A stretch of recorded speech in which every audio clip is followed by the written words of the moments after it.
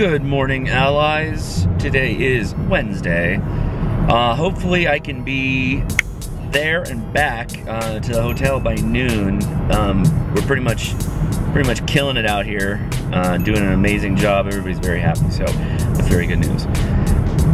Yeah, another another day in paradise. Amazing sunrises in Colorado, just amazing.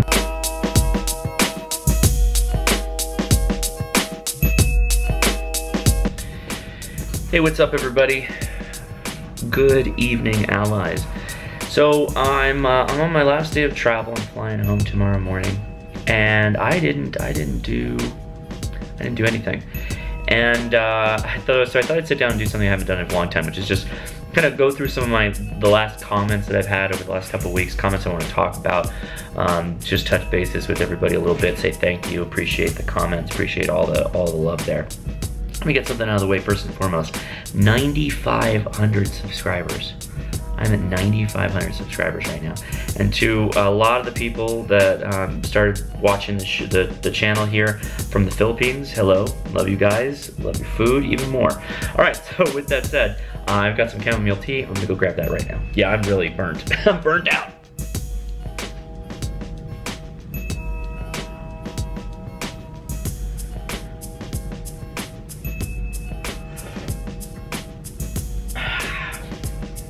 Chamomile. Check out this shirt. Got that Bob Ross shirt here, painting the galaxy. Amazing. So uh, let's just let's just dive right into it. I'm just going right down my comments feed, talk to you directly. So Freedom Doomed asked, did you visit Spyderco while you were there? I made a point to go to the factory outlet store last few times I was there.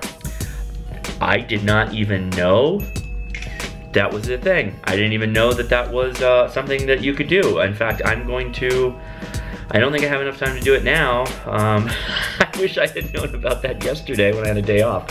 I would have, I would have definitely checked that out. So this is, this is getting to the ham radio stuff a bit. On the ham radio crash course video, somebody posted, uh, don't like FRS and GMRS being mentioned in the same context as amateur radio, especially when it comes to the Baofengs. These radios are not FCC certified for use on FRS GMRS even though they're capable of operating in those services, it's a violation of FCC regulations to do so. Yeah, so if you take this Baofeng and you use the software to program it, you can make this operate on FRS and GMRS frequencies. That's technically illegal. Um, do I have radios that are programmed like that? I do, full, full, full admitting. I don't generally broadcast though on FRS and GMRS, and if I ever needed something like that, it would most likely be in a survival situation or a emergency situation, and then I have no issue using it. So that's why I include it. So to stick with ham radio crash course for a little bit, uh, the emergency comms video went out on Monday or Tuesday. Thank you everybody for watching it and commenting. I got a lot of really good comments, but I also got one comment that was not so great, but it's a good discussion point that I'd like to like to springboard. Oscar Madison said, great info, but something really should have been said about licensing.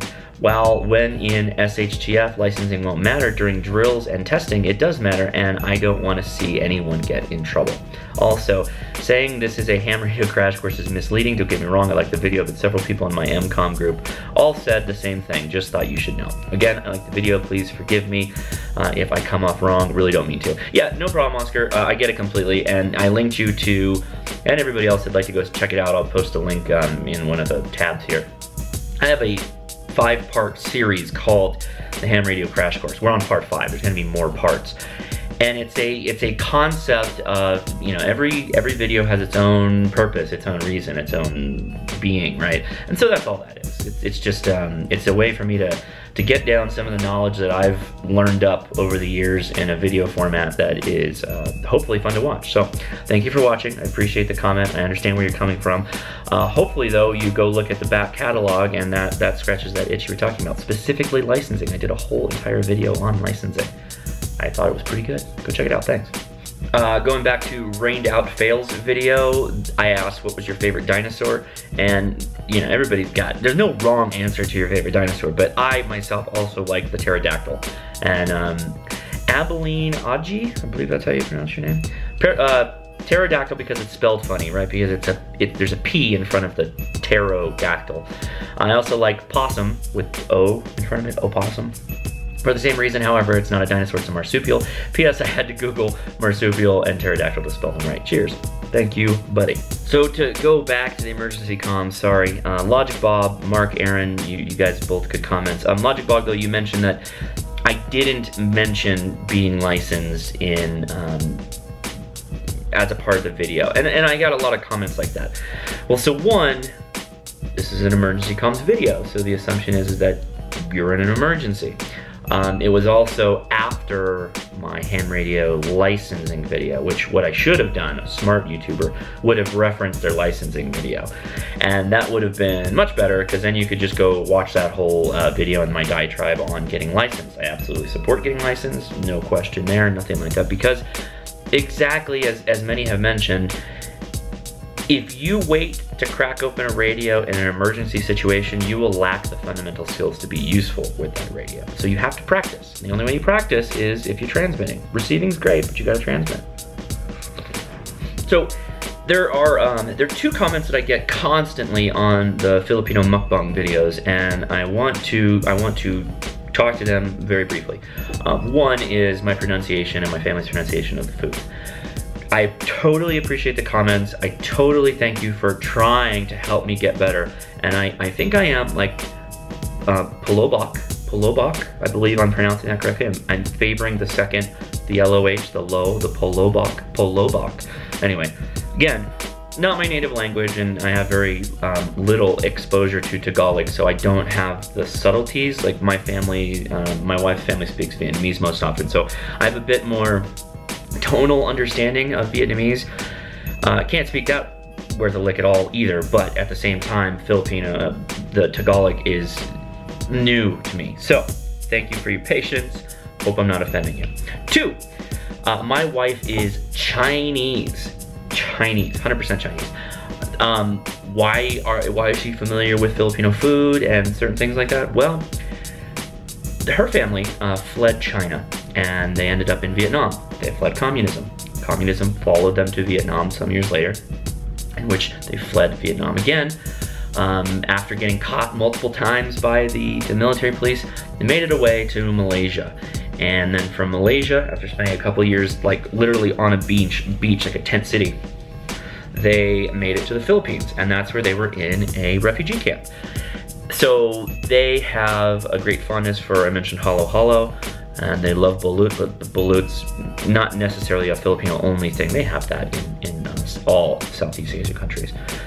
So familiarity, yes. Uh, cultural understanding, not so much. So um, when that question's come up, particularly because she hasn't been on camera, you uh, understand she's not Filipino uh, or Filipino. Now, if you want to see Leia, I've gotten that question a lot too, is she should be on camera more. I did a video on the uh, Brujo, the Christmas Beer Fest party. She's in that video, so if you're so inclined, you can go check that out. Uh, just a, a, side note too, I've had a lot of really good back and forth with uh, commenter The Vein Slayer. So appreciate all your um, your recent comments. You kind of started watching the, the vlogs recently, so just wanted to call you out and say thanks, bud. Uh, good comments, good good talking with you.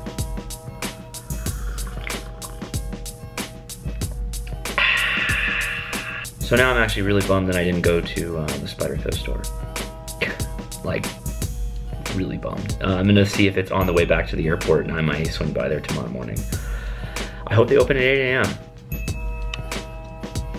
So I think that'll do it for today, guys. Uh, question of the day. I really liked going to the Garden of the Gods in the end. I was bummed that I didn't have my drone, but I'm curious, what do you guys view as like your favorite national park? I really liked going to Bryce Canyon when I was a kid in Utah. Uh, I had been Zion, but I think I was too young to really remember it. That's probably my most favorite.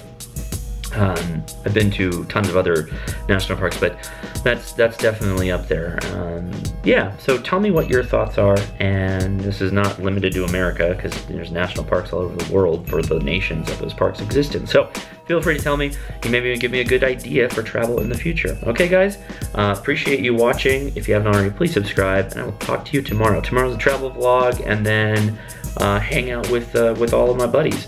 They're gonna be coming over to the house on Thursday. Why not? Okay. talk to you then. See ya. So I did a little bit of recon. Uh, Spyderco factory store is actually in Golden, Colorado, which is really close to Denver and Aurora, which is about an hour or something away from Colorado Springs. So not in the cards this time. However, um, may make that work in the future. Okay.